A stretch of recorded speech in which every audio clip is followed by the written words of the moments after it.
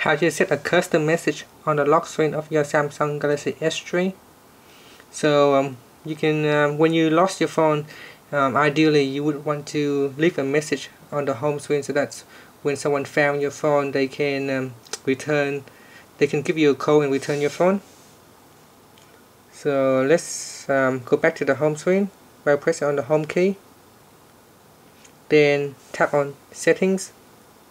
And then tap on lock screen under the personal section then choose lock screen options and scroll down. Um, if you just go back sorry um, from here just tap on owner information.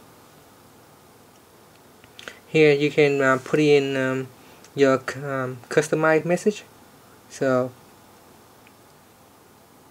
if found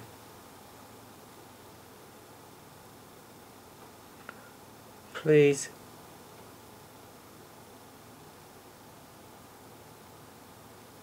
Call David.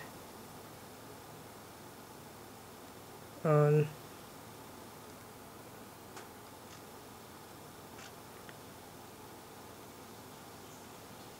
This number? Then tap on OK so then let's go to the lock screen and have a look. So now you can see a message here. Is displayed if found please call David on the telephone number or you can uh, put whatever the message you like to um, to display on the screen on the lock screen. Thank you for watching this video. Please subscribe to our channel for more video tutorials